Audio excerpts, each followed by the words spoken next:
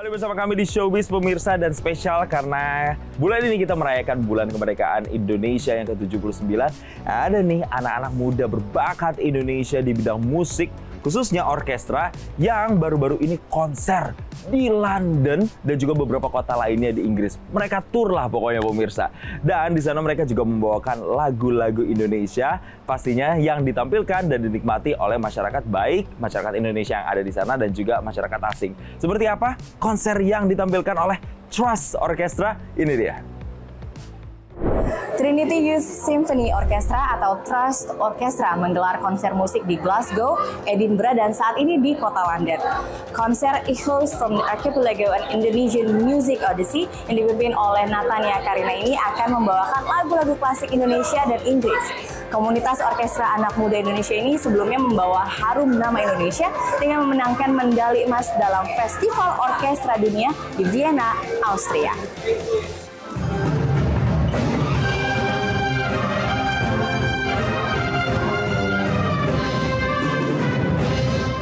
Jempa bergema di tengah kota London. Lagu daerah dari Aceh ini sengaja dimainkan untuk memperkenalkan musik Indonesia di pentas dunia.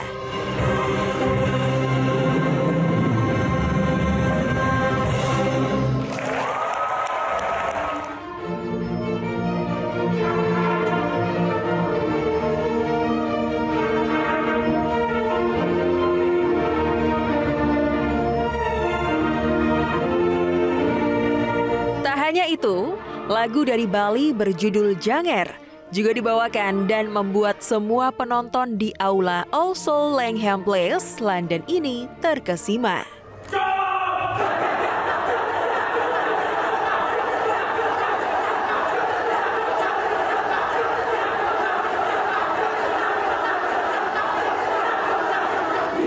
Pertama tadi yang Kak Dia bilang ya, bahwa orkestra itu bukan musik yang elit. Oh ternyata bisa membumi dan bisa juga di uh, apa link dengan masyarakat biasa dan bahkan tadi dengan lagu dangdutnya.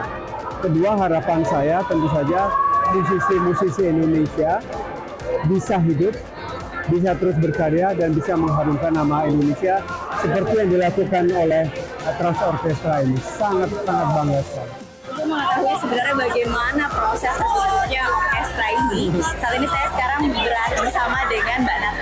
Kania, konduktor utama Trust Orkestra. Halo Mbak. Halo juga. Boleh dijelasin Mbak, proses terbentuknya ini tuh bagaimana bisa sampai keliling Eropa?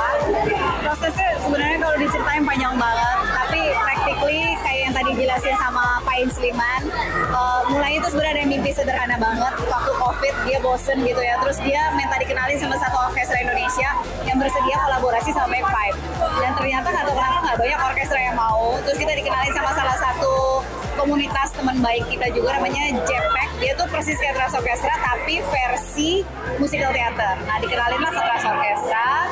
Lalu dari situ semua dimulai jadi persiapannya sebenarnya panjang banget hampir dua tahun sebenarnya. Tapi mungkin baru intensnya dari bulan Maret kita udah mulai latihan. Tapi persiapan logistiknya sebenarnya udah dari dua tahun lalu gitu. Karena benar-benar gak gampang banget buat terbangin 75 orang ini ke sini. Kita harus bergulat banget sama visa sama dokumen uh, logistik alatnya gimana hotel gitu. Jadi lumayan merangkap musik dan jadi travel agent kayaknya. Ini benar-benar kayak mimpi yang benar-benar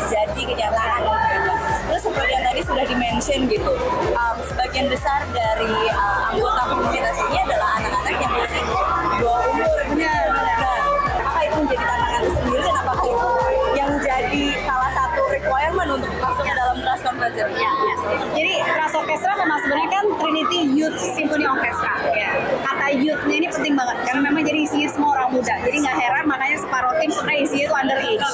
Jadi kalau dibilang tantangan sebenarnya enggak juga karena memang anak-anak ini kita beruntung banget. Ini kayak bakat-bakat terbaik di Jakarta yang memang sehari-hari sebenarnya masih sekolah, masih kerja, masih kuliah, tapi mereka bersedia banget meluangkan waktu buat latihan cukup serius buat ngeraih mimpinya. Gitu. Dan buat kita itu satu hal yang sangat positif karena kita percaya banget di Trans Orkestra uh, orang orang muda gitu ya kalau dikasih tantangan, kalau dikasih kepercayaan, saya selalu bilang they're the one who can move the world gitu. Jadi uh, sebenarnya tantangannya mungkin dianggap sebagai sesuatu positif aja karena yaitu orang-orang muda ini sebenarnya cukup dikasih kepercayaan aja sih. Terima kasih Mbak Kania. semoga semakin banyak konser-konser yang diadakan di Eropa, di internasional, supaya bisa jadi jendela di mana uh, budaya Indonesia, musik Indonesia makin dikenal oleh internasional. Dari London, Inggris, Wu, Metro TV. Jelajahi cara baru mendapatkan informasi. Download Metro TV Extend sekarang.